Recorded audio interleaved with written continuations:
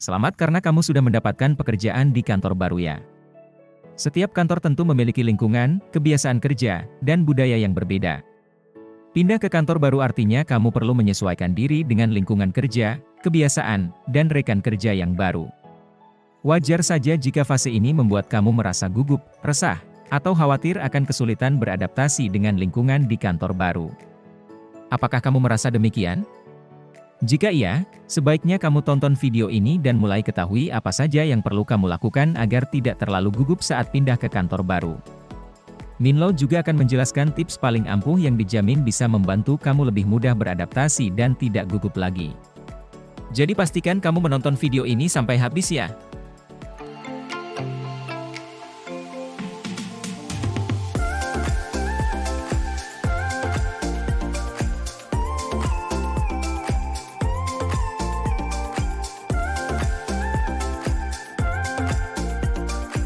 Hai Sobat 5, balik lagi dengan Minlo di sini.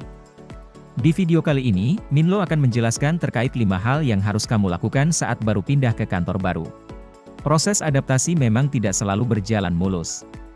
Kamu bukan hanya harus berurusan dengan pekerjaan di posisi yang baru, namun juga harus menyesuaikan diri dengan teman di kantor. Padahal, setiap orang sudah jelas memiliki sifat yang berbeda-beda. Begitu pula dengan sebuah lingkungan kerja. Jangan sampai kamu kesulitan untuk beradaptasi sehingga pekerjaanmu jadi terganggu dan ujung-ujungnya resign lagi. Yuk, tonton video Minlo agar kamu benar-benar siap pindah ke kantor baru ya.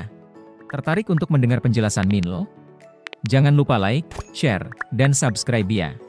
Agar pindah ke kantor baru berjalan lancar, kamu perlu mengenali kantor barumu terlebih dahulu. Bagi kamu yang merasa sering ceroboh, pastikan untuk melakukan persiapan yang matang.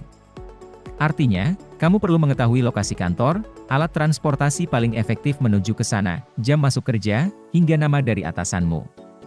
Informasi tentang kantor biasanya sudah dijelaskan dalam tahap interview oleh staf HRD. Setelah proses rekrutmen selesai, kamu biasanya akan diberitahukan beberapa informasi dasar terkait kantor barumu. Mulai dari jam kerja, lokasi kantor, departemen pekerjaan, nama atasan, dan sebagainya. Informasi tersebut tentu tidak boleh dilewatkan. Pastikan untuk mencatat dan mengingatnya sehingga hari pertamamu berangkat ke kantor baru berjalan dengan lancar. Buat kamu yang cukup awkward dengan orang baru, sebaiknya kamu jangan salah kostum ya.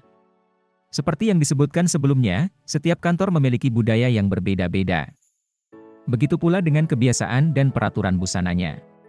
Pastikan kamu sudah menanyakan peraturan pakaian kerja pada staf HRD. Salah kostum bisa-bisa membuatmu malu dan merasa tidak nyaman ingin segera kabur pulang ke rumah. Meskipun kini sudah banyak perusahaan yang membebaskan karyawannya untuk menggunakan celana jeans atau sneakers, Minlo sarankan kamu tetap menggunakan pakaian yang sesuai dengan info dari HRD ya. Jika kamu memang tidak mendapatkan info pakaian yang tepat, kamu bisa menggunakan pakaian kasual yang tetap sopan dan rapi. Dengan begitu, hari pertama pindah ke kantor baru bisa lebih nyaman dan tentunya kamu semakin percaya diri saat bertemu rekan kerja baru. Pindah kantor baru terasa melelahkan, jadi pastikan fisikmu tetap sehat. Kondisi fisik yang sehat dapat meningkatkan produktivitas lo. Di samping itu, kondisi fisik yang baik juga membantumu untuk mengelola mood, stres, dan tentunya lebih fokus dalam bekerja. Kebanyakan orang tidak sadar terkadang rasa kantuk, bosan, dan demotivasi yang dialami merupakan dampak dari kondisi fisik yang kurang sehat. Pastikan untuk mengatur jam tidur agar tubuhmu mendapatkan waktu tidur yang cukup. Bukan hanya untuk hari pertama pindah kantor baru ya, sebaiknya lakukanlah secara konsisten agar performa kinerjamu tidak menurun. Beradaptasi dengan orang baru tidaklah mudah, namun saat pindah ke kantor baru kamu perlu berusaha lebih keras untuk bersosialisasi agar dapat berbaur. Dengan bersosialisasi ke sesama rekan kerja, kamu bisa lebih mudah mengenali budaya kantor baru. Ini juga bisa menjadi jalan pintas untuk mengenal kebiasaan dan lingkungan kantor dengan lebih mudah. Berikan senyuman dan sapaan saat bertemu dengan rekan kerja.